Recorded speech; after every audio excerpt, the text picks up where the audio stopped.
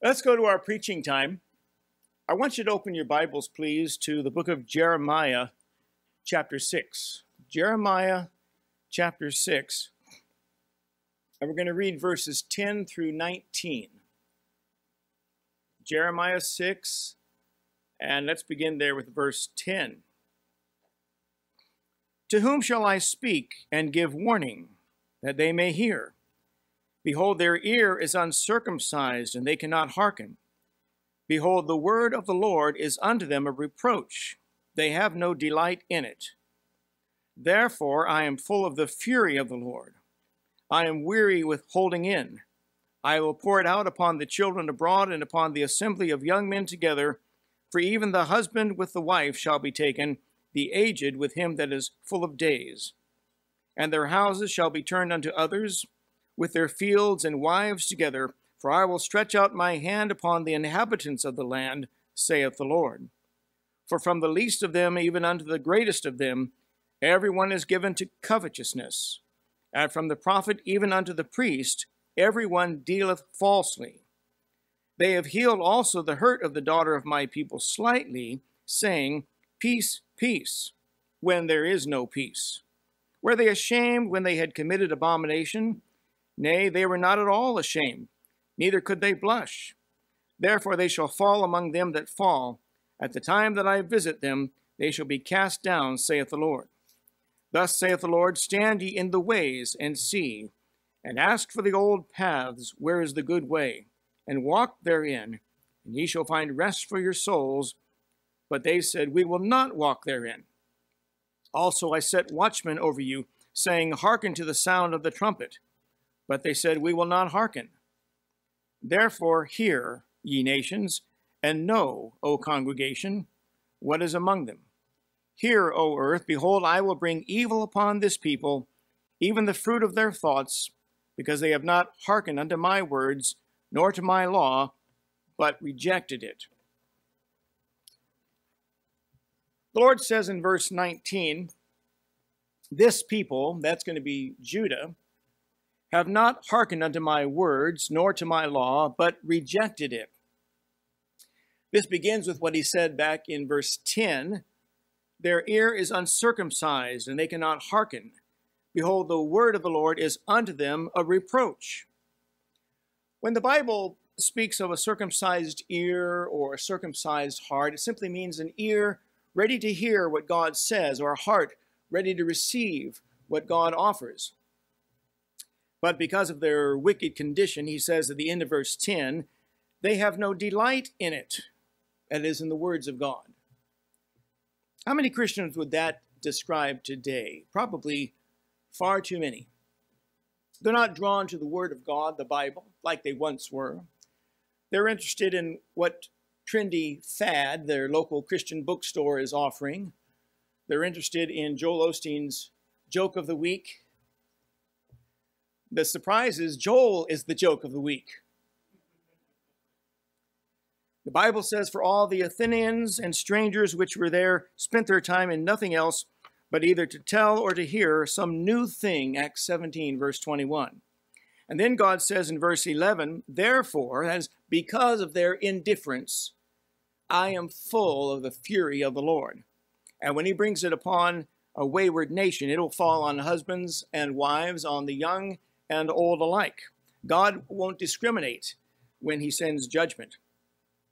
Then the Lord declares in verse 13, For from the least of them, even unto the greatest of them, everyone is given to covetousness. Covetousness, as wanting what someone else has, is fueled by envy and it leads to greed. The last, the tenth commandment is still, Thou shalt not covet, Exodus 20, verse 17 seeking to enrich yourself or to enhance your own image or your reputation without regard to others is what uh, destroys lives, it destroys culture, it ruins entire nations. Greed, envy, covetousness. You know what? This country is nearly $20 trillion in debt right now. Lawmakers worry about their place in the history books while they borrow and spend their children's futures away. The flesh of man can never be satisfied. The more you get, the more you want.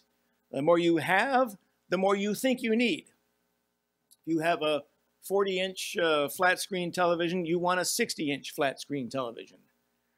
If you drive an Infiniti, you want to drive a Mercedes. If your church has 100 members, you think you need 500 members. If you have 500 members, you think you need 1,000. Joel Osteen's father, John Osteen, had a church with 800 members coming regularly.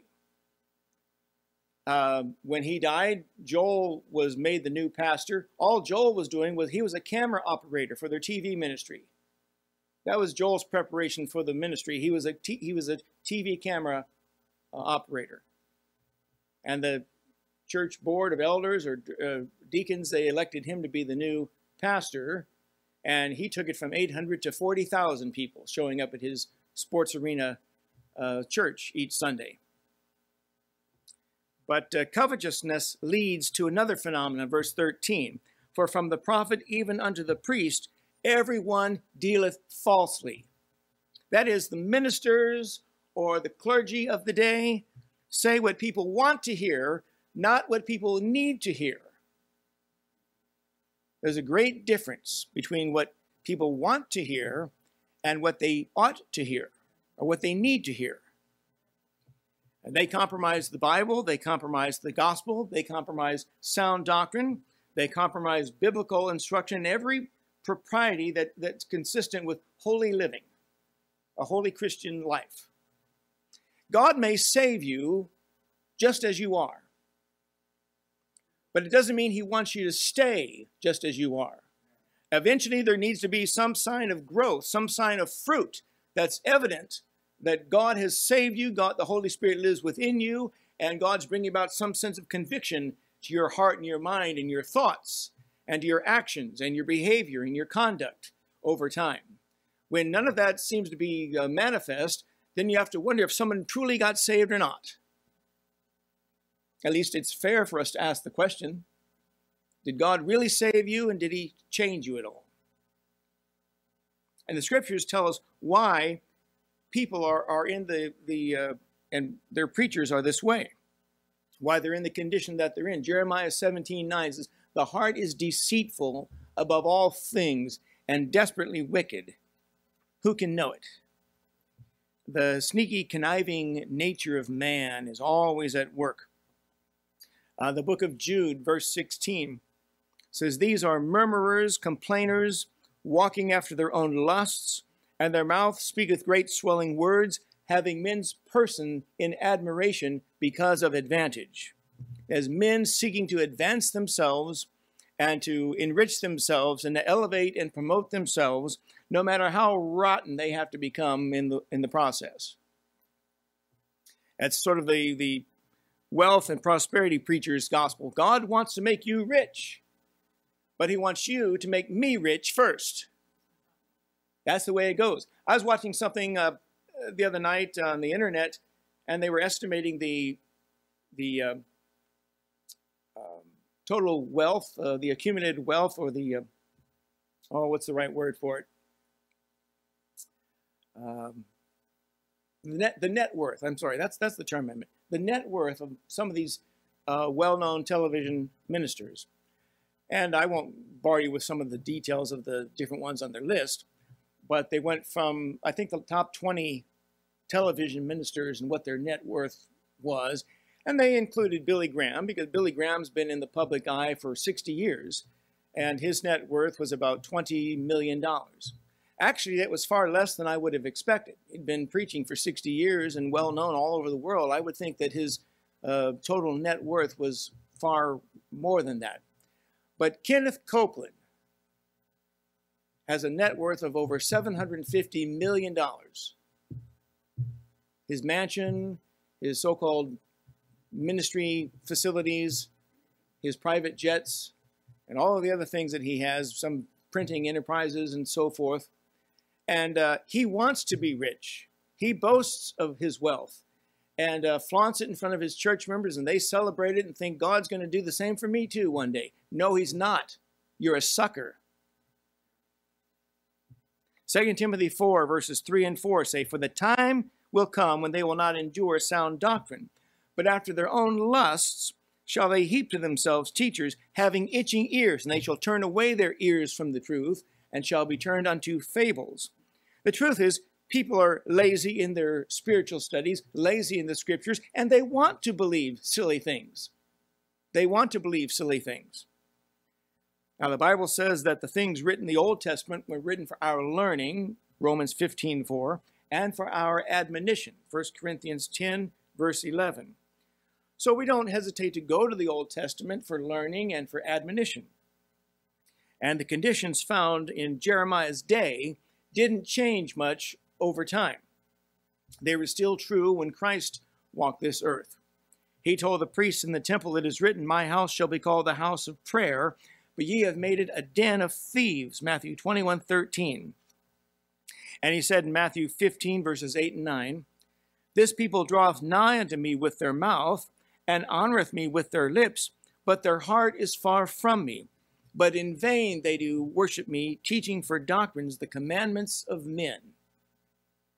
Later in the Apostle John's day, God reproved the church of Laodicea, because thou sayest, I am rich and increased with goods, and have need of nothing, and knowest not that thou art wretched and miserable and poor and blind and naked. Revelation 3, verse 17. And you know from studying the Bible and Bible prophecy, if you know anything about Bible prophecy, you have to admit that the day of Laodicea is now. Those conditions are the order of the day today. At, at no other time in church history have there been so many mega churches boasting 2,000 to 20,000 people showing up every Sunday. You know, the two largest churches in the United States are both in the city of Houston. There's the Joel Osteen's circus, uh, 40,000 people showing up every Sunday. And then the Second Baptist Church, Baptists have always broken themselves into First Baptist, Second Baptist. Whoever got to that town first could lay claim to First Baptist Church name. But there's a Second Baptist Church in Houston, Texas, and they have 20,000 people that attend each week. But uh, supersized crusades that fill football stadiums and sports arenas, churches with slick marketing campaigns and uh, audio video production, advertising budgets that could feed a small country if they had to. While their sizes are very impressive, the spiritual lives of their members are very often disappointing. They just go from one excitement, one thrill, to the next excitement, the next thrill. Week after week after week, this is all they live for. What's going to happen at church this week? It's promoted as though it were a, a circus or some uh, event taking place uh, out on the baseball field where you know, jugglers are going to be juggling and people are going to be telling jokes and there's going to be someone shot out of a cannon and so forth. This is about the, the, the, the level of spirituality that most of these mega churches uh, possess. They're so spiritually shallow you couldn't get your ankles wet. And because they've got themselves into this condition, God says, I am full of the fury of the Lord, there in verse 11. That's God saying that he's fed up with something. You don't want to get the Lord God mad. It's good to be on the good terms with the Lord. The Bible says, Whom the Lord loveth, he chasteneth and scourgeth every son whom he receiveth. If you're saved and you know him by faith in the new birth, you belong to him, he'll still take a, take a paddle to you. He'll st still spank you if necessary. You don't want to get on the bad side of the Lord God of the Bible. But the Lord says uh, how today's church, just like ancient Judah, could fix their problem. Uh, and that's the heart of my sermon today. Verse 16 says, Thus saith the Lord, Stand ye in the ways and see, and ask for the old paths, where is the good way, and walk therein, and ye shall find rest for your souls. But they said, We will not walk therein. So uh, that's all introduction. Let's get to the sermon. And I call this simply, Hey there, Grandpa. I thought about calling it old guy's rule. And the older I'm getting, the more I can identify with the expression. But uh, point number one is this stand in the way and see. If you want to learn anything, you have to go where that information uh, is to stand in the way where the knowledge travels. If you want to improve your English skills, your English usage skills, signing up for a math class at a junior college is probably not the best way to go about it. Uh, math class is not the place to stand if you want to learn more about English usage. You have to enroll in an English class because that's where the English knowledge uh, is being taught. Once you stand in the right place, then you have to see, open your eyes to the instruction. You won't learn very much about correct uh, sentence structure, syntax, uh, and usage by simply osmosis. It won't come into your brain by the molecules in the air. If you want to learn more about English, uh, just being in the classroom will help very little unless you listen to the instruction, open your textbook, and actually do the work. I, can't attend, I, I cannot attend church for somebody else. I can't read their Bible for them. God expects them to do it. God expects you to do it. God expects me to do it. And um, if you want to learn and grow in the knowledge of the Word of God, you have to go, first of all, where it's believed, and then secondly, where it's taught. Either one of those uh, factors without the other will profit you very little. Go where it's believed and where it's taught. Learning is almost always brought about by getting instruction from someone who has been studying it longer than you have and understands it more than you have and can then explain it to you. You might be able to teach yourself uh, English.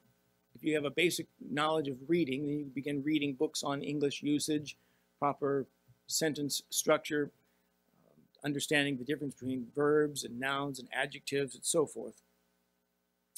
But uh, it'll come to you more quickly if you sit under a good English instructor or maybe some other student who's taken the course before you and is able to, to then tutor you. But fortunate, unfortunately, the English language, using it as an example, the English language has been adopted as sort of the universal language around the world in commerce and in politics and so forth. So the, the rules and the structure of English usage, usage are fairly well set. By the way, since I'm using this as an illustration, I understand that there are people who watch our videos in Korea and watch my sermons in Korea to hear English spoken and maybe help them in their English usage. The joke's on them. I don't speak it that well. But um, everything you want to know is already out there. And uh, in the old paths of language and literature, you have to ask someone to show you where to look, where to find it, how to find it, how to understand it.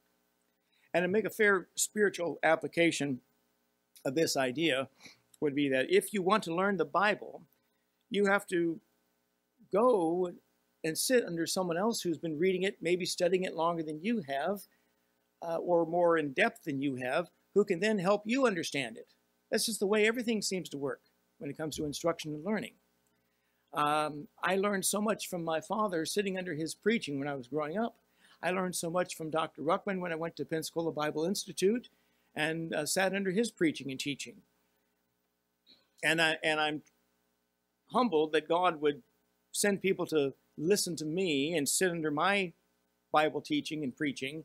And I pray that they learn something that is instructive to them, helpful to them. I get people complimenting me and thanking me for this or that. And I can't tell you what a humbly, humbling experience that is and I'm grateful to it. But either I or Pastor Kim or some other pastor, if you trust him enough to ask, I'd be happy to help you find the answer. I'll tell you if I don't know the answer to that, or say, give me some time, I'll try to research that for you. But, uh, but take this word of advice don't purchase anything offered by TBN. You don't want to, you're, you're not going to learn the Bible listening to Jan Crouch read the Living Bible on CD. She was another strange creature. There's an old word that's not used very often, but it uh, accurately described Jan Crouch, and that was the word floozy. You don't hear the word floozy thrown about much, but she certainly was one. Point number two today, God tells to ask for the old paths. Ask for the old paths. The image in our text, verse, verse 16, is like that of a man who is at a fork in the road and he is deciding which way to go. One is well traveled and busy, and nearly everyone is going down that way. And the other one looks like it's safe enough, but very few people are taking it. It probably leads to a fine place. Uh, it looks like it's been around for a long time. And even inside, something tells you, go down that road and see what's leading down that direction. You know, in the movie Pix, uh, the Pixar movie Cars, I don't know, 10 years ago maybe. And yeah, I watched it. Yeah, I saw it. Um, the, the story uh, focused on the major highway that went through the nation and bypassed the little small little roads that uh, wound their way through the country. And those little towns along that road lost tourism, they lost business, they just about dried up because everyone was taking the superhighway and nobody was going the slower route. And uh, do you know something? That actually happened in America. It was called Route 66. It started back at Lake Michigan, Illinois, and wound its way all the way through the across the United States and ended up at Santa Monica Pier. And that used to be the route everybody took to drive across the country. It took you through small little towns, little strange uh, motels, roadside motels, and things that little little fruit stands and little businesses you you never would have known about uh, had you not taken that that slower route. But it wasn't straight and direct, and it wasn't as quick. Uh, so therefore, people have adopted the major freeways and interstates now, and they've forgotten about the old Route 60. You can still take it. You can still drive Route 66 and wind your way all the way through the across the country and stop at little markets and things people are selling alongside the road that are unique and one of a kind. But, um, but very few people take that anymore. Solomon wrote, There is a way that seemeth right unto a man, but the end thereof are the ways of death. Proverbs 16 25.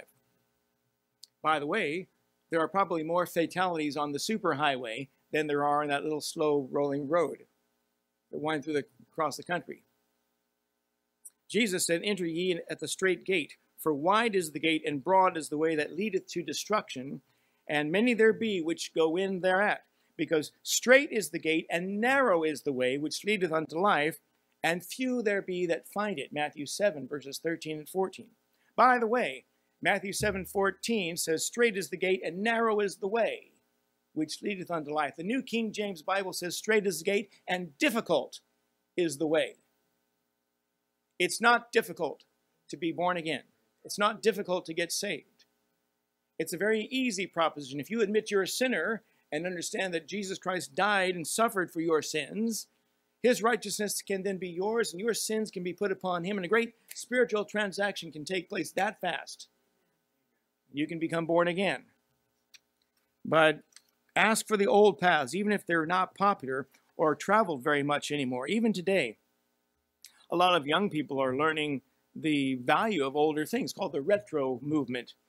And um, I know people who like old clothing styles, they like old furniture, they like old record players that played vinyl uh, albums. Most guys, most men like an old car that's been restored to its former uh, beauty and luster. And um, there's uh, old car clubs, and the whole point is to buy an old car and as a hobby, fix that thing up and restore it to its brand new condition. And you and the, your other club members can then uh, glory in what you've accomplished. Take it out to old car shows. I know a fellow, he bought a pile of parts on a trailer of a 1955 uh, Chevy Nomad wagon. And he was mechanical, but not that mechanical. So he and his brother, who had, they had bought it together, I think they bought the whole pile of parts for $2,000.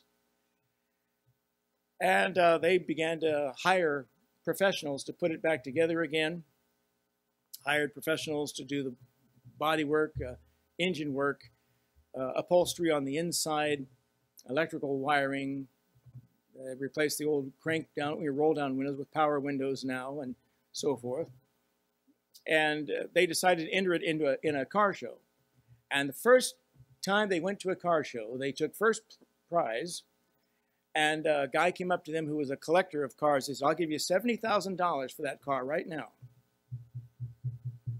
They sold it to him, took the money.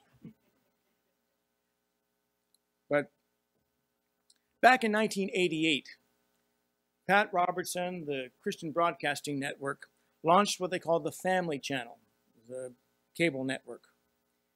And they didn't depend on new programs as such. All they did was go back and they got reruns from the 1950s and 1960s, clean television shows, and just repeated those. And it was an instant hit. In just a few years, they had 43 million subscribers across the nation.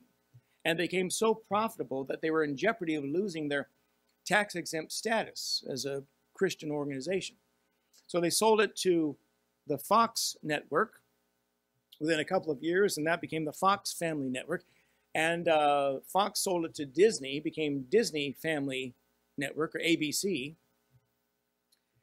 And uh, they, Disney bought it for uh, $2.9 billion from the Fox network. Now it's called ABC Family Network. Pat Robertson structured it in such a way that the word family has to always remain in the title. But it, I remember as that was taking place, thinking all across this nation there are people who long for the old paths. They long for times when, when things were safe, when you could you could actually, if you watch television, you actually watch something on television and not have to cover your kids' ears or their eyes every time a commercial came on.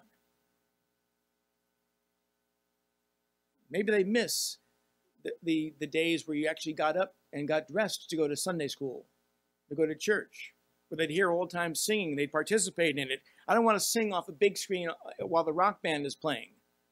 Give me a hymn book and let me sing out of the book and sing with joy and sing with enthusiasm. People need to hear the old time music. They need to hear old time preaching. They need to hear the old time shout. They need to read from the old time Bible. They're never going to get anything and get anywhere in their walk with Jesus Christ. That's what they need. They need the old paths the old paths of honesty and honor and integrity and decency and morality and virtue, those things are all gone out the window these days. So, in addition to standing in the ways to see, you and I are told to ask for the old paths. Ask for them. If some guy's got some new version of the Bible, ask him why he's not preaching out of the King James Bible. Ask him what he has, why he has a problem with the King James Bible. What does he have against it? If a guy is a, says he's a preacher, ask him, why don't you wear a suit and tie like most preachers do? That's the way the things are these days. Uh, make him defend himself. Make him defend his lackadaisical, casual attitude towards spiritual things. Point number three, he says, where the good ways are. Where the good way is, I should say. Where the good way is. If you want to learn English, back to that illustration, by enrolling in an English class, studying diligently and making, making use of the instruction is still not enough. The problem is there are excellent English teachers and there are poor English teachers. If you get tutored by someone who knows as little as you do, then you're in trouble. And devotionally, for our, our purposes, if you're taught the Bible by someone who knows as little as you know, then both of you are lost. Neither one of you know which direction you're going in. And that's why I stated earlier, you need to find some someone who, number one, believes the Bible, and then number two, can teach it to you. One of those without the other uh, will not profit. Not just teach you his opinion, or not just what he thinks, or not what's trendy, not what somebody else said before him. What does the Bible say? How do we find the answers directly from the text of the Word of God? I went to one of these mega churches during my day job and uh, their church bulletin, it sounded good enough. It said that we at such and such church believe in teaching God's word, equipping the believer, and hold the Bible as true and infallible. Well, I have no problem with that. And they also said, We believe the Bible to be the inspired, the only infallible, authoritative, inerrant Word of God. That sounds great, and I believe in that too. But then I went to their church bookstore on the premises, and they had about six or seven different translations of the Bible for sale, which meant they don't believe a single word they put in that bulletin. They don't believe any single one of those Bibles is the perfect Word of God and they can hold in their hands. They're all pretty much equal with one another. What if they contradict? and many of them do. They had the King James Bible, and they had about seven other English translations, modern translations, and there are multiple contradictions between them. Who's to decide which one's right and which one's wrong? The truth is, they don't believe any single one of those Bibles. You can't study something if you don't have it, and you can't learn the Bible if you don't have a copy of it. I'm a King James Bible believer. I don't just use it, I believe it. I don't just want to memorize it, I believe it. And when someone says, we use only the King, that doesn't impress me at all. What do you believe? What do you believe is the perfect word of God that you can actually hold in your hands? Do you believe there is such a book that you can actually hold in your hands and own a copy of? I've stood in the ways and seen. That's the Bible that all the other Bibles want to be like. And I'm not afraid to ask for the old paths.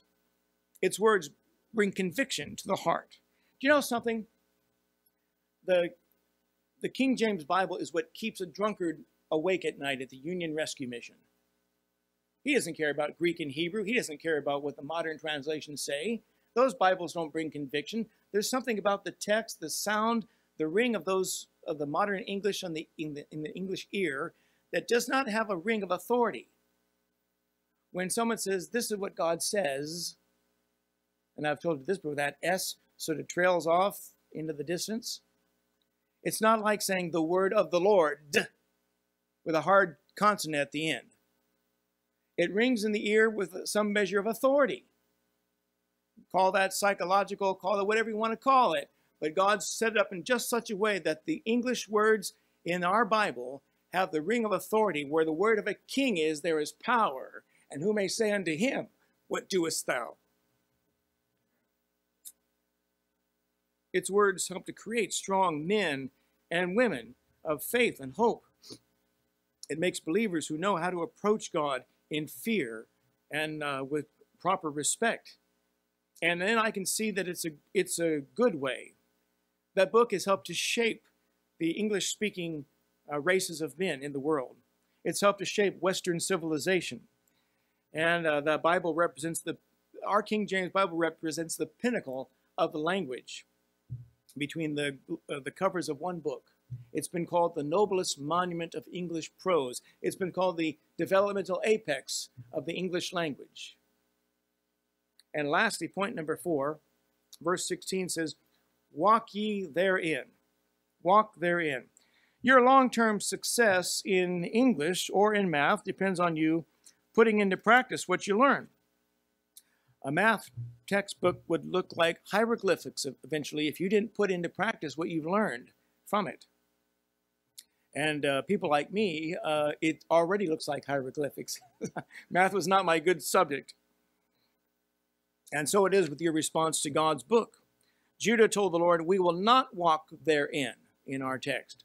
What a sad response. When God asks you and tells you what to do, and you say, I'm not going to do it. But he told them, If they would, ye shall find rest for your souls. You know, a lot of what passes for Christianity is a disappointment. It's just another well traveled highway that might get people to the end of their lives only to discover that the peace and hope and the joy that they were hope that they were longing for never did come. All they had was religion. They had nothing real. Uh, all they had were the words of men. They the lectionaries and the recitation of prayers and uh, counting prayers on a, bead, a string of beads or some memorized text you learned in catechism class many, many years ago, whether it's a Lutheran or the Episcopalian or Roman Catholic uh, Church, those things cannot satisfy the soul when what you really long for is the Word of God. Robert Frost's, and I'm going to bring this to a close, his famous poem in 1920 called The Road Not Taken. The last stanza says, I shall be telling this with a sigh, somewhere ages and ages hence. Two roads diverged in a wood, and I, I took the one less traveled by. That has made all the difference. If you will look to God for the old paths, the old ways of worshiping God, the old ways of approaching God, the old ways of prayer, the old ways of preaching, the old book, the old music, the old shout, the old gospel, the old time religion, God will bless. God will bless. That's where God wants you to go. He says, seek, ask for the old paths.